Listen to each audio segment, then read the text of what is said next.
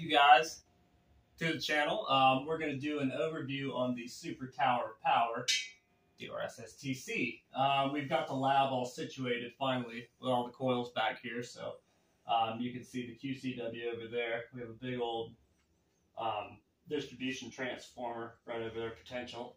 Uh, the ring toroid for this guy on the wall, and uh, you have the Tower Power Junior right there, along with the vacuum tube coils. And uh, we've got the display up on the board here. So um, also have the lab coat from the show at Pensacola too. You had to wear it, but I guess tonight would be the perfect night for that since we're going to be learning a lesson on the board here. So this is just a general overview of what we have with the Super Tower of Power. You guys have been asking about it, so maybe I can start and uh, go over just a few of the initial basics of it. Um, the input is 240 AC and it's rectified and doubled to 680 DC. Uh, the power draw on it is 13.5 kilowatts. That has been tested uh, at 2.5 ms.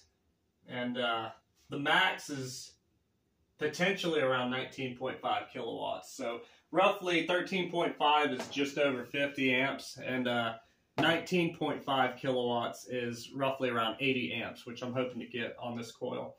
Um, the transistors consist of a CM300 DY24H, and these are uh, two used in a full bridge. So you can compare that with your standard TO220 uh, configuration right here, what you normally use inside of a coil um, any type of small SSTC or DRSSTC that a lot of people use. These are what we're using. We call them bricks. Um, they're actually very resilient when you get the phase lead and the coil running right. So uh, that's just an overview for you guys to see that. And those are used in a full bridge on this configuration. Um, so back to this. The secondary consists of a 6 and 5 eighths by 32 inch secondary. And that's right here, as you can see, right there. Um, and a 30 by 7 aluminum spun toroid, which is right here from Eastern Voltage Research. Um, that actually took quite a while, about four months turnaround time on that. The ring toroid is a 32 and by 7 and uh, 5 eighths, which was handmade and so the frequencies are different with the secondary.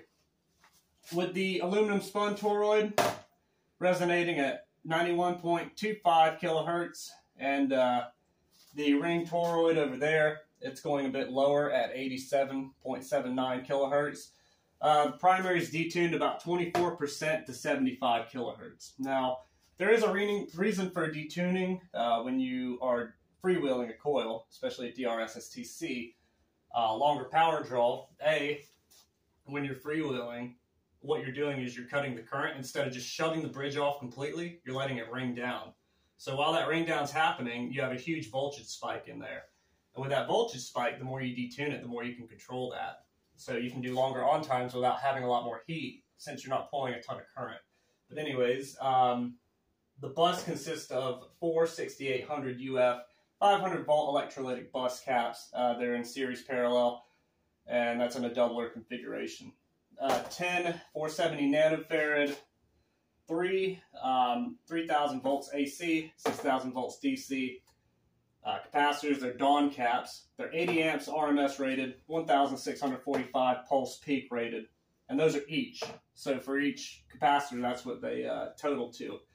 Uh, the total capacitance on the MMC is 156 nanofarad, um, 18,000 volts alternating current, uh, 36,000 volts direct current, 160 amp RMS rated, 3,290 peak amps rated. Those are pulsed. Um, and that is 2.5 ms rated so far with the running of the coil. Uh, with the driver that I'm using, it's an EVR Philips Slawinski UD Plus uh, freewheeling driver and the MIDI 1.5 interrupter, which I actually have right here. This is the 1.5 MIDI interrupter from Eastern Voltage Research. Um, I actually had a buddy do the acrylic guard over it, and everything else I just put together. So it's pretty simple. Uh, fair little box right here, and then just turn it on right there. So it's pretty cool. Um, two 5000 to 1 GDT cores. Uh, when you're freewheeling, the way you're going to phase these to the gates is on, off, off, on. And if you swap the phase lead right there, it's off, on, on, off. So um, either way your phase is on your driver, depending if you have a phase switch on there. Uh, this coil is water cooled as well, and that is actually right down there. So we'll be going through a little in-depth walkthrough on this too, just give you guys an idea. Uh, the proximity from the primary to the secondary is one and a quarter inches, which it gradually spreads out as the inner turn goes around to about 1.5 before you hit the next turn after that. Um, one and a quarter is the most you'd want to go in on 680 volts. And reason why is because you have the chance for arc over too. Uh, chance for arc over erasing arcs from your secondary down to your primary. Now, with that being said too, you want to make sure that your lead that runs up to your primary is not hitting your secondary or your uh, strike rail on there too. Uh, for 340 volts, you'd want to go to about three quarters of an inch at the most um, inward, especially if you're running high currents with that too. Uh, secondary has been glaze coated with uh, about an eighth of an inch of glaze coat, epoxy coating. And we're going to do an overview now, so thanks for tuning in. Um, so here's just a general layout of the power system in this. We're going to start with the um, start with the transistors back there. You can see um, I have two uh, thousand volt, two microfarad snubber caps on there over the bus bars. The bus bars are quarter inch thick, half inch wide copper bar, uh, superconductive copper, and two gate drive boards from EVR on there. You have two um, 5001 GDT cores, and they're phased in on, off, off, on, or off, on, on, off uh, for freewheeling, because half of your bridge switches when it freewheels. So these are your bus caps, and these are your 6800 UF, 500 volt, and they're 550 surges for those. Uh, you have your 2000 to 1 uh, feedback and current transformers right there. And those lead to the 10 um, 470 nanofarad, 3000 volt AC, 6000 DC um, caps, the Dawn caps, which are 156 nanofarad total, uh, 18 kVAC, 36,000 kVDC total rated. Um, your driver's over here. This is the Eastern Voltage Research Phillips Slawinski UD driver. Um, and your phase adjustments right there on your um, inductor that you can use to tune your phase your uh, phase lead adjustment. And you have your current and pulse width limiter right there. And inside you start you um, set a startup frequency. So when the primary actually knocks off the secondary frequency, it'll start to bring the coil into oscillation. Now, if the primary is tuned at 75 and you have it set to about 70, that would be perfect for it because if you detune more, then it'll compensate for that too. Um, have a big heat sink on the back here with some fans that I run. Uh, two multi-comp fans right there. And your water cooling right there. Have that hooked up to the front and the back and they go through that little motor right there in the back. Maybe I can move it right here.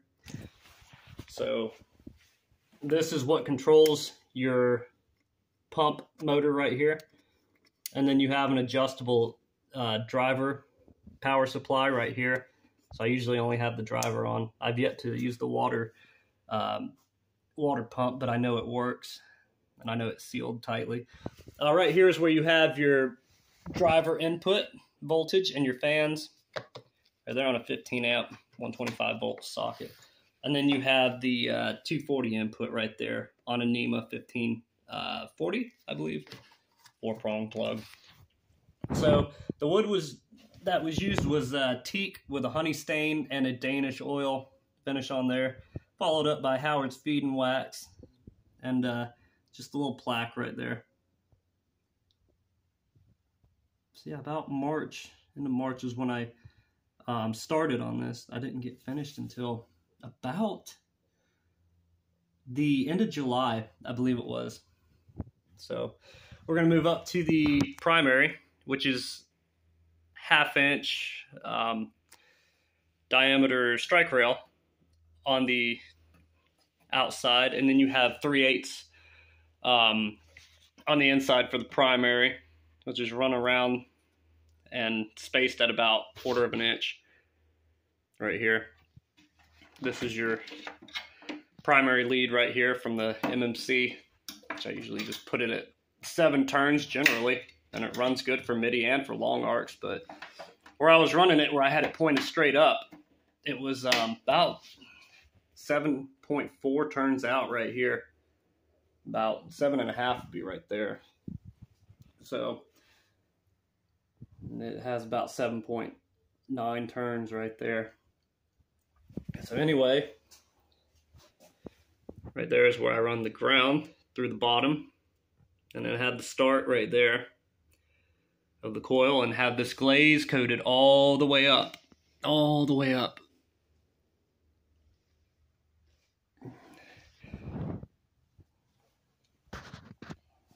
And there's the two transistors, as you can see, the size difference of them. Um, just to give you guys an idea. Um, that's toroid. Um, any general questions that you guys have, feel free to leave them in the comments. Um, I actually work a lot with uh, Brian over at SciTube HD and Archangel Tesla Coil. Um, if it wasn't for both of them, I probably and uh, Zach from uh, Lab Coach too. If it wasn't for those guys, I wouldn't be where I'm at today. Um, I wouldn't have all these coils built and you know working on a QCW right now. But um, yeah, I can go over to this ring toroid too, real quick before we call it a night. Um, this was 3D printed by a good friend of mine, and he has one as well as well as these uh, PVC hands right here. These are just aluminum tubes, and I swaged the ends on them and fit them into each other. And then just used uh, stainless steel braid cable wrapped it around it after I super glued these together, these tube ends in here. Um, so maybe I can see if I can find my swage tool yeah, one of these inside the pipes, and then you just grab it and swage it around like that, and it'll open the tubing right up. But you got to be careful not to go too far, else it'll crack it.